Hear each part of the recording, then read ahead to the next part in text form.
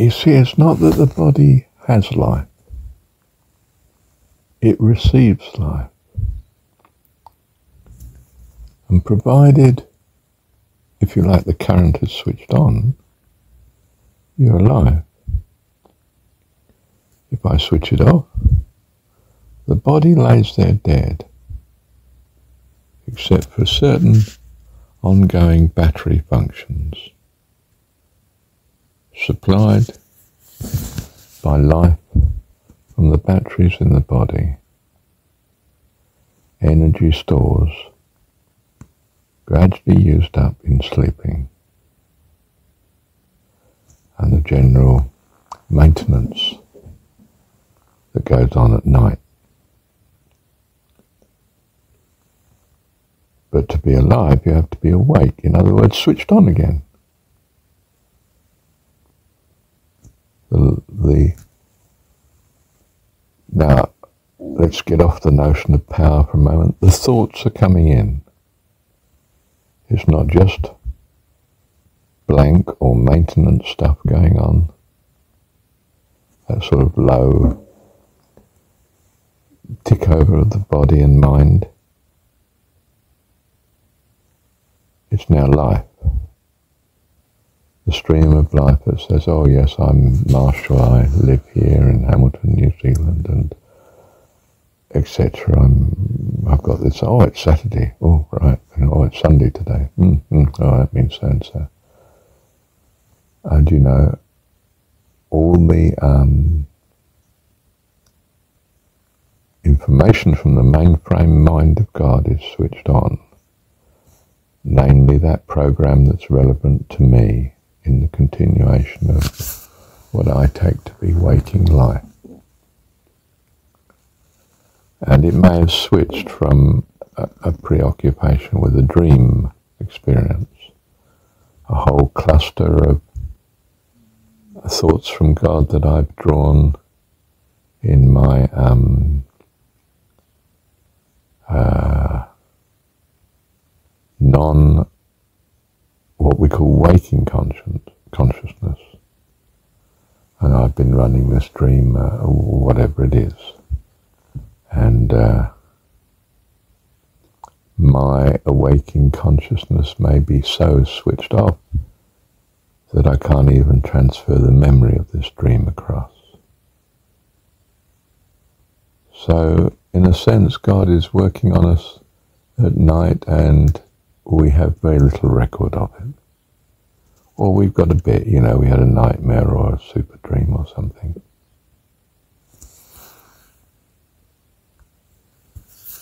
Thoughts being transferred are at are super high frequencies of what we at least conceptualize as minute, to say the least, particles, frequency of bombardment. They are of unimaginably high energy. Well, in fact, imaginably high energy. Imagination, thought, is that high energy I can't even say minute particle, I mean demi, mini, mini, mini, minute. I mean, uh, just, uh, the mind can't grasp how small we're talking about. And that's the stream of thought that ever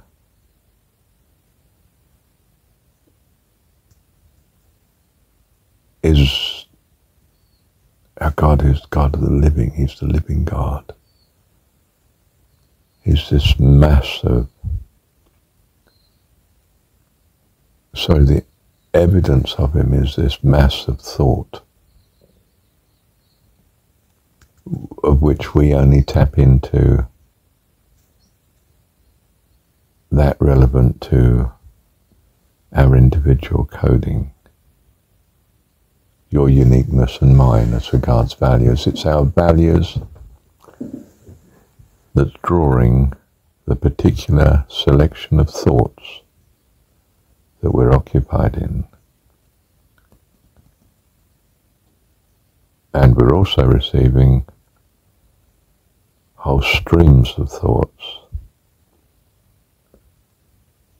that we're not tuned into, so it's just white noise. Except sometimes it isn't, and we pick up a thread of what someone else is thinking of God's mind. And you can read someone's mind in that sense, perhaps. You know what they're thinking. Or you've got a hunch, an intuition, or, or something like that, you see. Do you see yourself is not actually here, so to speak, located in this thought of the planet Earth and, and so on? Yourself is in God's mind. He holds a um, particular value framework, which is you, your current values. And uh, they're not ideal for harmony in heaven if you're given complete freedom. So those values are being uh, reselected, adjusted. And the adjustment process is happening here for you and me on earth at present while we're alive, as we call it, namely here. What we call here, namely the earth, and, you know, it's Sunday the, I don't know, 20 whatever it is, um, of November 2023 in New Zealand, Hamilton, Marshall, where he lives and so on. I mean, that's the projection. It's projected onto the backrock of what you might want to think of as the string texture of space. Our sun and this planet and all its detail, or what we call matter, is being projected on this material of space. with whatever dimensions it has, some of which we're very familiar with. This film represents the recoding process going on, what we call daily living.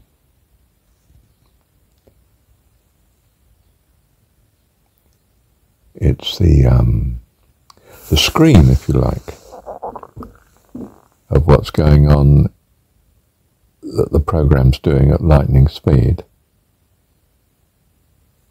And it's the program specific to the app that you're running at the minute on, on your computer, so to speak. Um, and it's coming up on the screen. And in consequence of this happening, this movie we're experiencing, you adjust your values. You learn, quite simply. By learning, we mean your values are recoded. And the thoughts that you therefore draw on from God's mind, remember your values are in God's mind, it's a particular selection. The thoughts you now draw are appropriate to that selection of values that's now being made.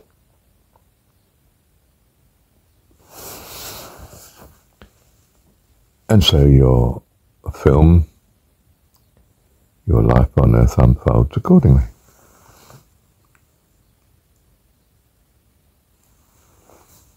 Of devotion to God and as the doer means that you're purposed on gaining a harmony. You've reached a stage of values that seek the perfection of these values, namely the harmonization of these values to that of heaven. You are become an active participant in your own development. You're not just purpose to do what your values draw, but also purpose that your values be changed, that you draw that which is a harmony with heaven. Wow, you're well on the way. Uh, you're a, you know, you're God's disciple. You're, you're, you're, you're working with Him, not against Him. Your values have reached a certain level, or are at a certain level, of cooperation in their own bringing about a completeness harmony with God. That's quite wonderful. Bless you. Me too. hmm. Thank you, Dad. Goodness, thank you, Dad. How utterly wonderful. Love you, Dad. Thank you, Heavenly Father. It's almost absurdly comical, but what we call black holes are intense localities of mind. And our notion of the ultimate God is something far, far greater than that. That can hold these thought particles, uh, it's, it's, it's scarcely right to call particles. I mean, they are so small. I mean, they make electrons look like universes by comparison.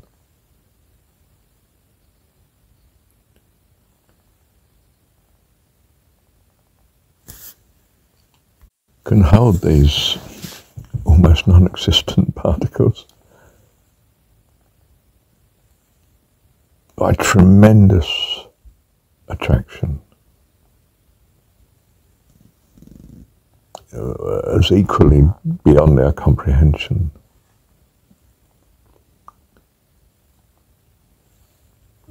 That hold such high energy frequency in there that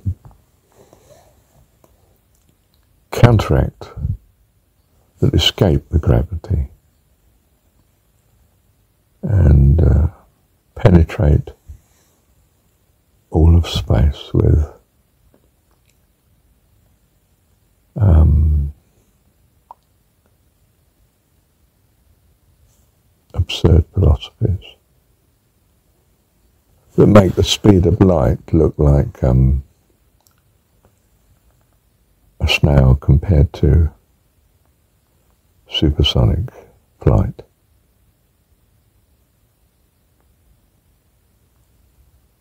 Uh, I mean, the extremes are so vast that comparison is means nothing.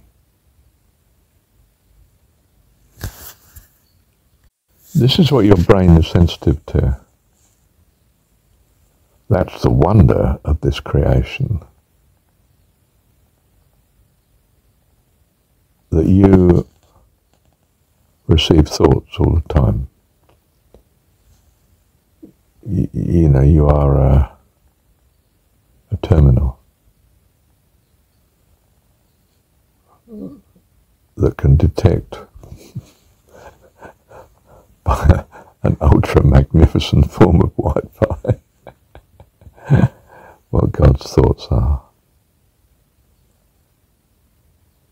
And in particular, tune into the channel, the program that's relevant to you as regards those thoughts, and not all the rest that's flooding what we call empty space. it makes Piccadilly Circus look like um, desert island. By comparison, busyness.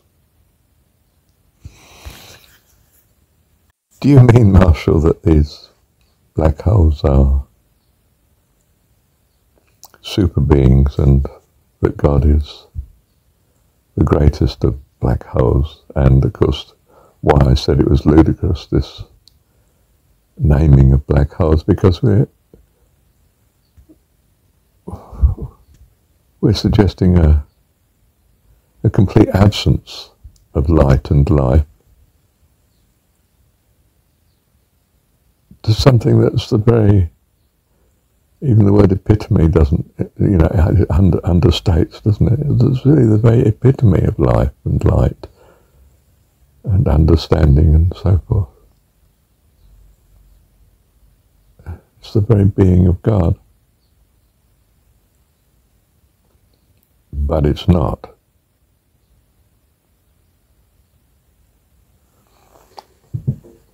God is the unmanifest. You could say, well, black holes are pretty unmanifest, you can't see them. But they are there. Yeah.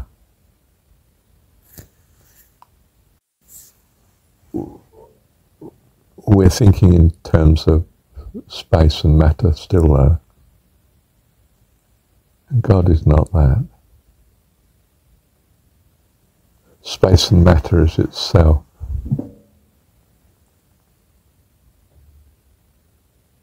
Simply a thought of God. I can't grasp, imagine, scarcely even symbolize the nature of if you like, God's true existence. Because even existence is a consequence of Him, not a cause. You see, in that sense, He is the prime cause. I'm not sure as it isn't even indecent to be analyzing God. It's as if it's forbidden territory, but not quite, because we're children of God. And we long to know what we as persons are. What He is, we are. And we want to know that.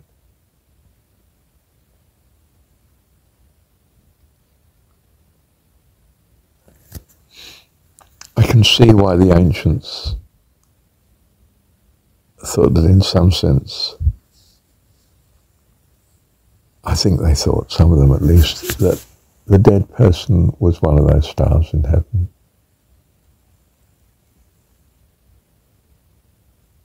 That there were countless stars because there had been countless people, and they're now in heaven.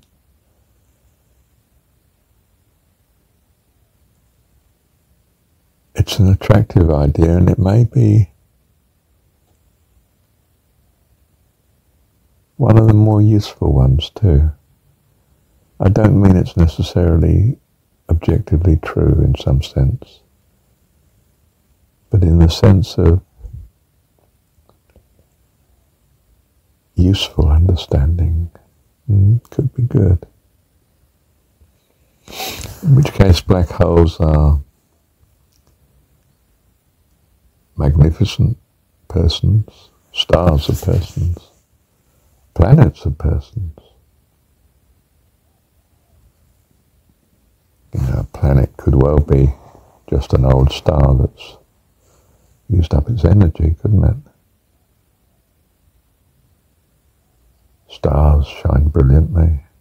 If there should suddenly arise within the skies sunbeams of undreamed of, of a thousand suns or stars or something, then might that Holy One's majesty and might be dreamed of. Bhagavad Gita.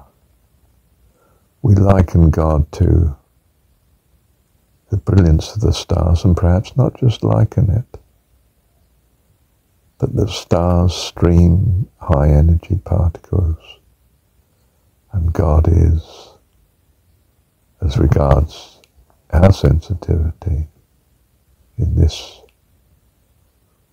universe dimension, this stream of ideas that come to us, light, wisdom, understanding, the light that we may see.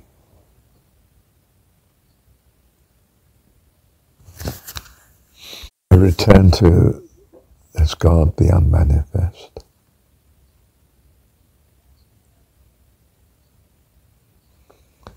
God the manifest is in the Son, the Holy Spirit, the thoughts that we receive. But the giver of these thoughts, and he is also of the same as we, his children, are persons. You have no idea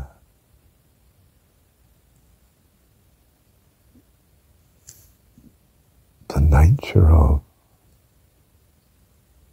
personhood, yours and God's.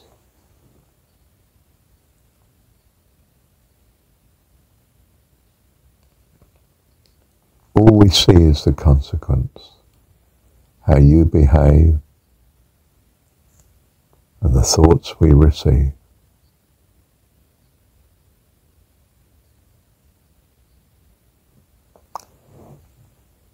But we know in our heart we want to be of you, Father.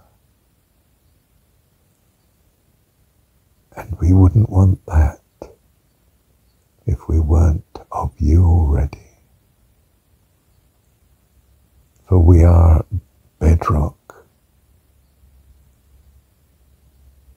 that which values you.